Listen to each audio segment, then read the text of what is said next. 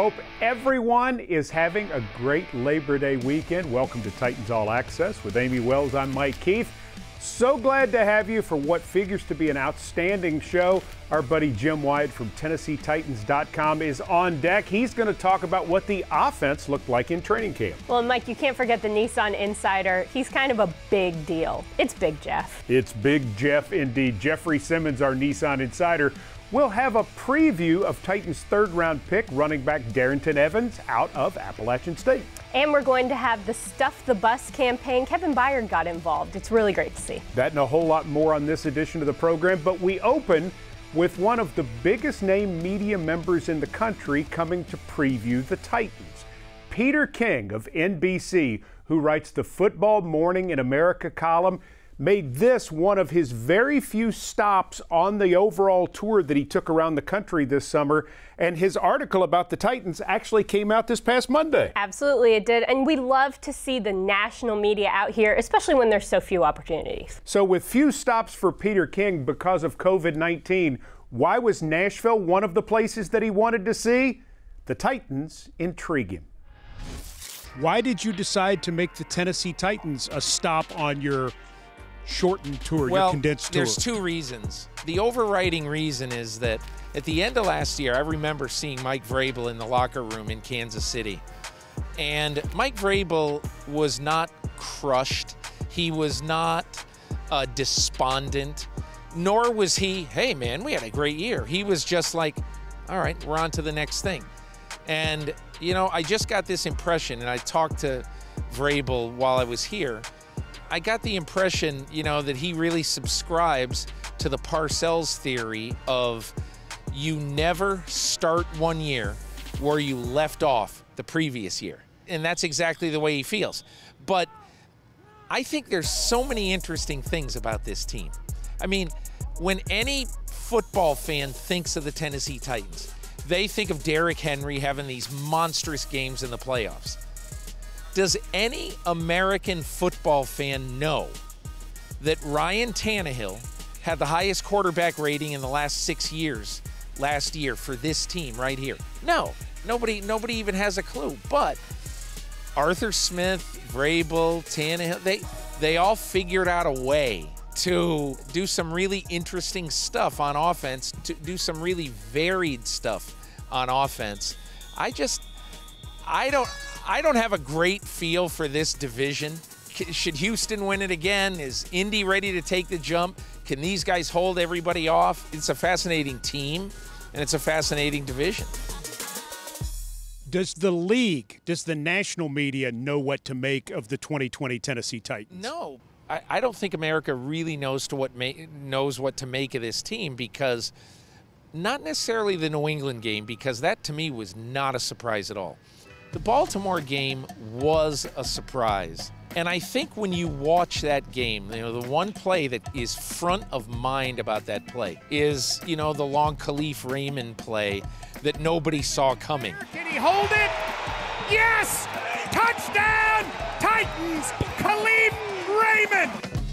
I think that is one of the really, really interesting things about this team. And that is that you know, Arthur Smith, I was talking to Jon Robinson, just shooting the breeze a little bit with him, and, and he said, you know, he tries to zig while everybody else is zagging.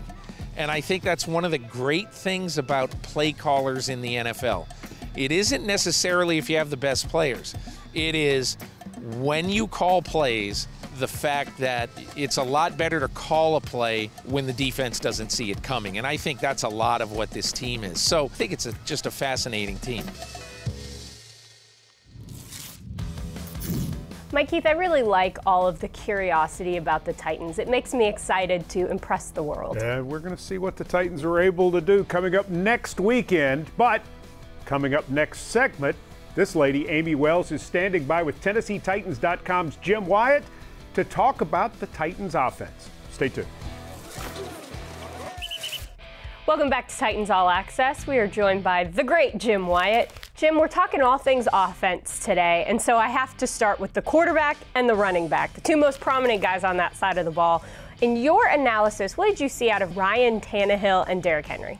Well, I think Ryan Tannehill has looked poised. He's looked, he's looked in command. You know, he, we all remember this time last season he was deferring to Marcus Mariota as the backup quarterback, just waiting his turn. He got an opportunity, and he hit the ground running. And I think having another year in the system with Arthur Smith, I think he's looked really good. He's been accurate in practices. I think Derrick Henry has always been on the go. I mean, I think running the football, he's been very effective. He came in camp in great shape.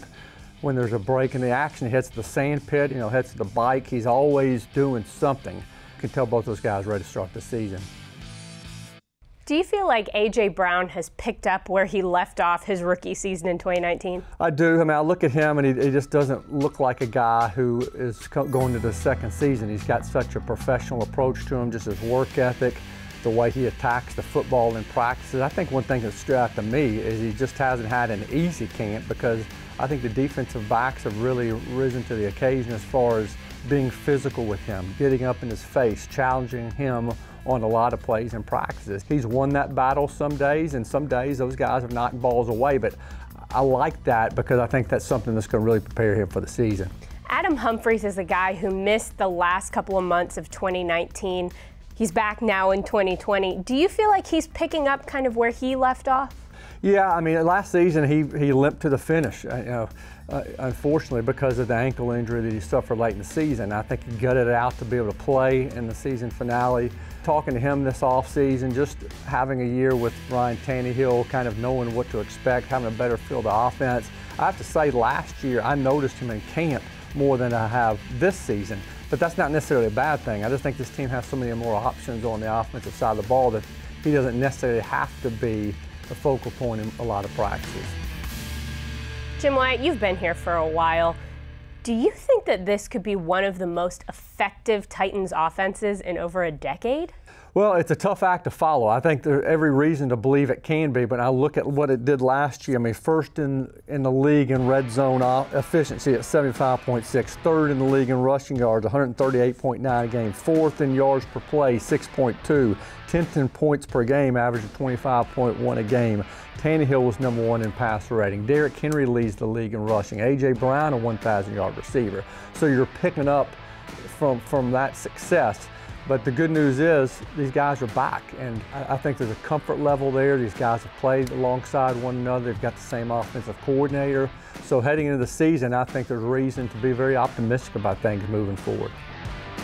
All right, so let's maybe not shoot for all of those number one numbers, but let's shoot for top five. What are some of the keys for the Titans offense to be one of those top five offenses in the league? Well, I think it, red zone efficiency is always going to be, you know, at the top of that list or near the top uh, because number one, obviously, is, is good health. I mean, you've got to keep Tannehill healthy. You've got to keep, you know, Derrick Henry healthy and have them play you know, a 16 game season and then going into postseason, but you've got to be able to score when you get close to the end zone. That's what this team did so well last season. So you need to continue to do that, get your playmakers involved, spread the football around. You know, the only real question mark going the season is is just how things are going to shake out at right tackle. I think I think we have a feeling that it's going to end up being Dennis Kelly's spot. So just that offensive line being able to to be you know cohesive and operating you know without any hiccups is a key as well. Jim Wyatt, it's always good to have you here. Guys, check him out on TennesseeTitans.com. He writes something new every single day. Every single day. All right, we're going to head to break, and as we go there, we're going to give you a little scouting report on the Tennessee Titans rookie running back, Darrynton Evans.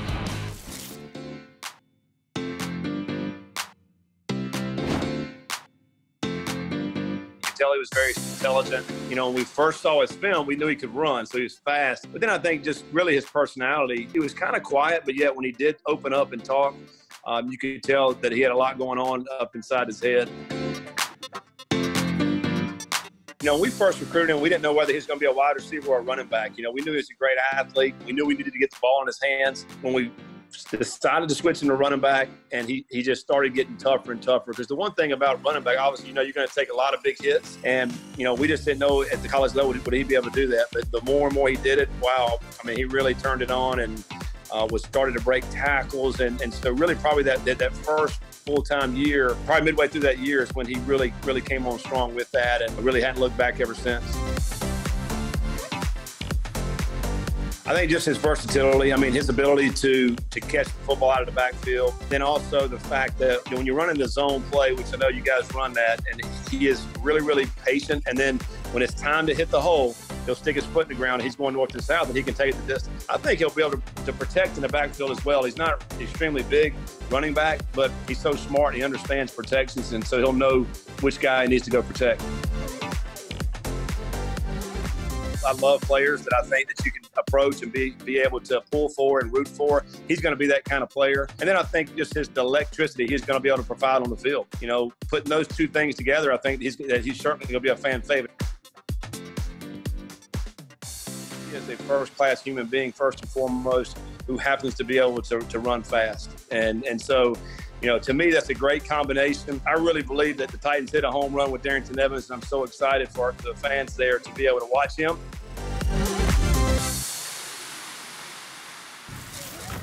Everybody, let's go!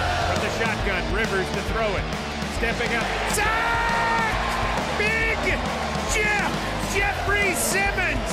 His first career sack. Glad to have you back with us as we get ready to talk about year two of Big Jeff. Jeffrey Simmons joining us on Titans All Access.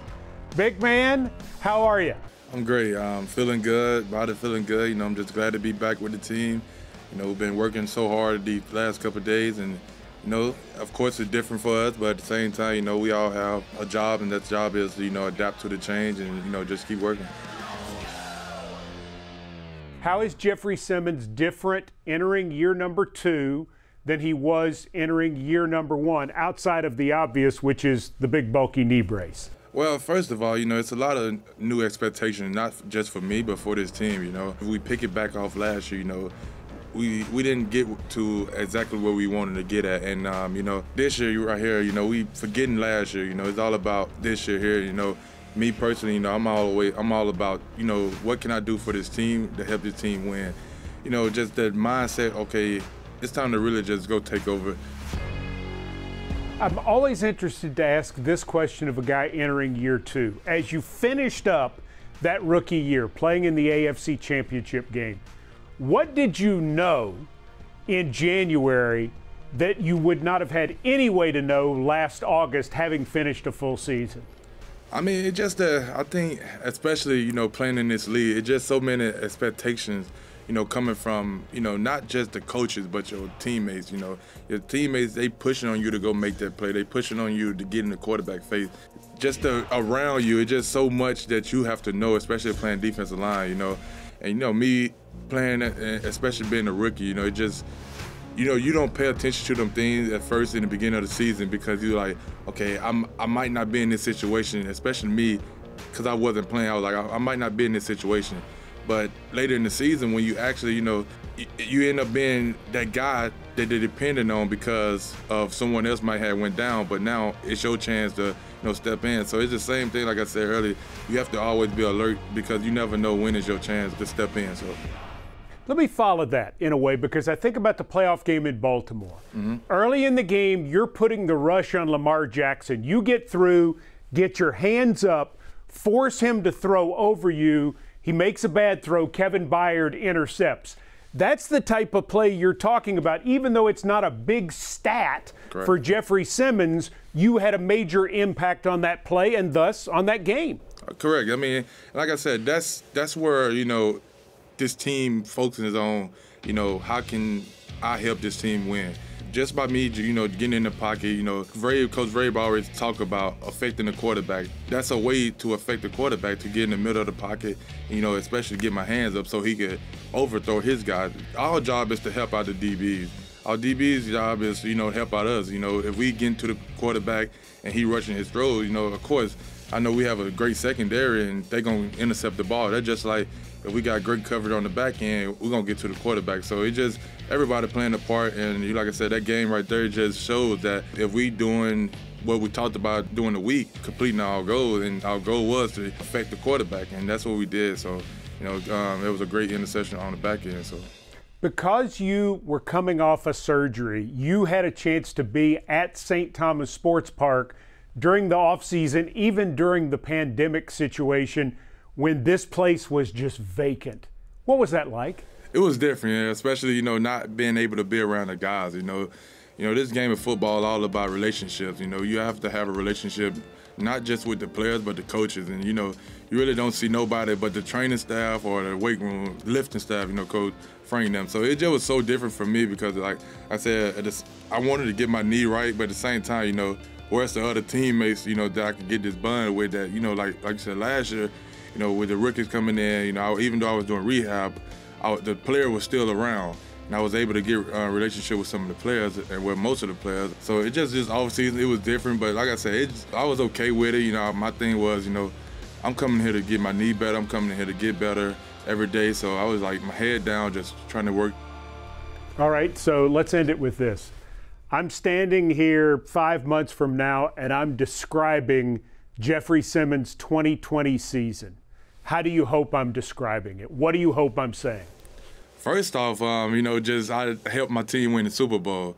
You know, um, secondly, you know, I just want everyone to see that the reason why I came to the Titans and the reason why I came here, and I feel like Jon them um, got me here, Covrave them got me here, is because they they want me here to disrupt the line of scrimmage. My goal is to do whatever I can to help this team win the Super Bowl, but same time, you know, for me personally, I want to show everybody in this league that I deserve and belong in this league by dominating every snap of the um, game. So, be a disruptor. I will. Good stuff. Thanks for That's the time. Thank you. Titan Up. Second year, Jeffrey Simmons with us on the program. We're back with more of the show right after this. Every vote counts. I know a lot of times for me, I, I think my vote's not going to count. But if the person next to me says the same thing, the next person him says the same thing, all of a sudden nobody's voting. I didn't really feel the importance as a younger adult, but now I really see the importance, especially in this election, because every single vote counts. I mean, you never know if your vote could be the swing vote that can decide, you know, who could be the president. It's your right as an American to, to make sure that your voice is heard and you have a say that what not only goes on the presidential elections, but, you know, everything between that and city council. Every vote counts. Every vote counts. Every vote counts. Every vote counts. Every vote counts. Titan Up.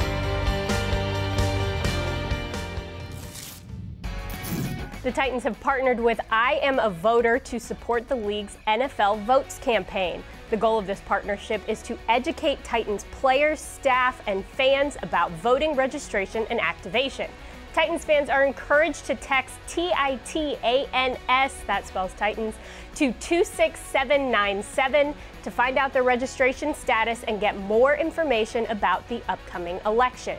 Now, here are some important dates. September 22nd is National Voter Registration Day. November 3rd, of course, is Election Day. Now, if you live in Tennessee, October 5th is voter registration deadlines for you guys, and October 14th through the 29th is early voting.